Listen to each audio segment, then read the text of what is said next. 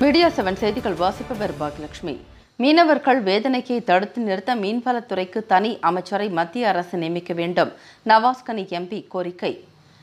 தமிழக மீனவர்கள் மீன்பிடி தடை காலத்தையொட்டி அவர்களுக்கு அறுபத்தி ஒரு நாள் கடலுக்கு மீன்பிடிக்க செல்ல அரசு தடை விதித்திருந்தது.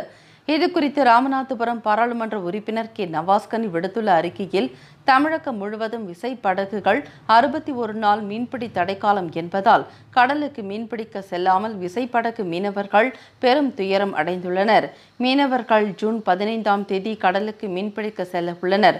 மீனவர்கள் நமது எல்லைக்கான கச்சத்தீவு அருகே சென்றாலும் இலங்கை கடற்படையினர் மீனவர்களை அடித்தும் வலைகளை வெட்டி வீசியும் அப்பாவி மீனவர்களை பிடித்து சென்று பல மாத காலம் ஜெயிலில் அடைக்கின்றனர். அவர்களுக்கு வாழ்வாதாரமான படகுகளை இலங்கை அரசு எடுத்துக்கொள்கிறது. இது போன்ற செய்கைகள் இனிமேலும் நடக்காமல் இருக்கவும் பிழைக்க வேறு வழியில்லாத மீனவர்களுக்கு மத்திய அரசு இலங்கை அரசிடம் பேசி மீனவர்களை தாக்குவது சிறையில் அடைப்பது படகுகள் மீது வழக்கு போடுவதை முற்றிலும் தடுத்து நிறுத்த வேண்டும். ஆகவே மீன்வளத்துறைக்கு என்று மத்திய அரசு அமைச்சரை நியமித்து மீனவர்கள் படும் வேதனையை தடுத்து நிறுத்த வேண்டும். இவ்வாறு கே நவாஸ்கனி எம்பி தனது அறிக்கையில் கூறியுள்ளார்.